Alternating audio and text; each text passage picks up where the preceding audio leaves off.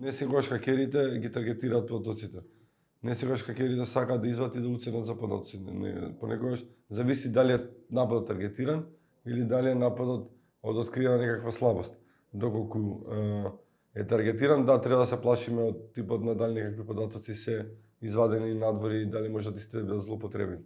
Но а, од искуство како што гледаме дека хакерите им се битни повеќе парите од изнудата отколку отколку податоците кои што можеби ништо нема да им служат податоците на Филип или вашите податоци или нешто. До сега успешно се завршени сите тие напади и можам да гарантирам дека податоци не се излеани, затоа што бевме дел вклучени како а, мониторинг да видиме дали се излеани податоци надвор, не, не беа, но на крајот од денот се доаѓа во враќање на системите пилотоците во функција.